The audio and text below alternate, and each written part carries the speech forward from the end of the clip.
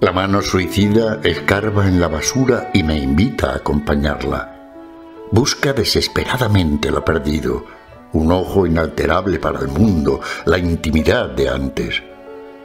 Ahora cada letra pretende la altura que no tuvo su herida. Ya no es más la solitaria estúpida, la que repara el cuchillo y la risa de otros espectáculos.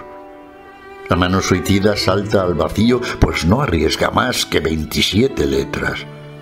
La mano suicida se ha quedado con mi casa. Le debo la vida.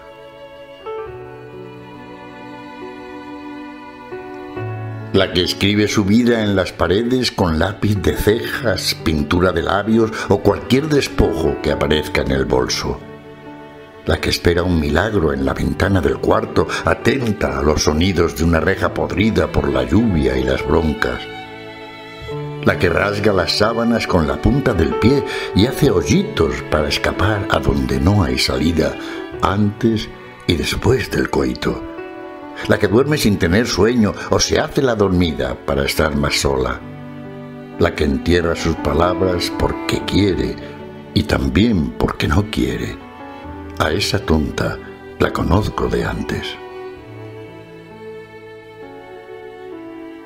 Ya no tengo aliento ni esperanza, sino la marea de la sangre cansada del naufragio.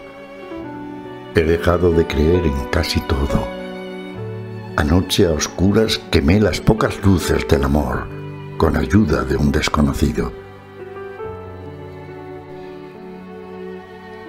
Pídele al otro que vuela, al desconocido que arde por siempre bajo el sol de La Habana. Pídele que baile desnudo como un tonto, que persiga rabioso tu alegría, que tome un autobús y en medio de la gente te diga que está a punto de bajarse porque eres una puta inaguantable. Pídele esa isla a la que nadie te invitó, la cerradura inmóvil donde solo pueden verse los amantes. Pídele una croqueta, unos zapatos de vieja, el largo camino de la entrega y la canción que persigue incansable la distancia entre el malecón y el mundo. Pídele lo que ya has perdido.